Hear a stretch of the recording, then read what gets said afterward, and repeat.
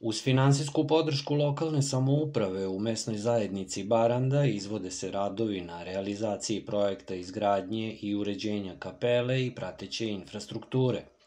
Pored izgradnje i opremanja objekta kapele, trenutno se sprovode radovi na podizanju ograde i postavljanju kapije.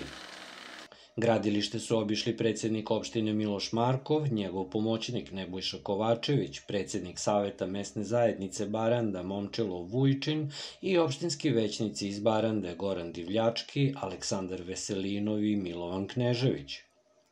Predsednik opštine ističe funkcionalnost objekta, podizanjem ograde i uređenjem dvorišta i najavljuje početak radova postavljanja ograde na groblju u Opovu.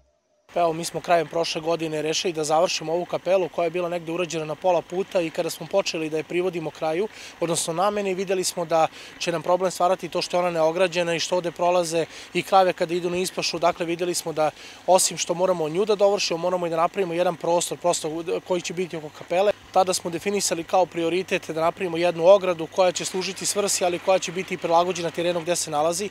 I evo, danas, e, nakon tog dogovora ubrzo je počela realizacija. Danas smo ovde da vidimo da se to privodi kraju i očekujemo da će kapela u Barandi biti ograđena u narednih dan, dva, bukvalno. Sada su u završnoj fazi radovi, a nakon toga će se nastaviti, kao što smo i ranije rekli, ograđivanje groblja u Opovu koje smo započeli takođe krajem prošle godine.